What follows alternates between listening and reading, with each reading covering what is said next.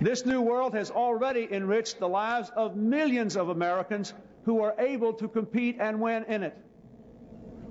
But when most people are working harder for less, when others cannot work at all, when the cost of health care devastates families and threatens to bankrupt our enterprises, great and small, when the fear of crime robs law abiding citizens of their freedom, and when millions of poor children cannot even imagine the lives we are calling them to lead, we have not made change our friend. We know we have to face hard truths and take strong steps, but we have not done so.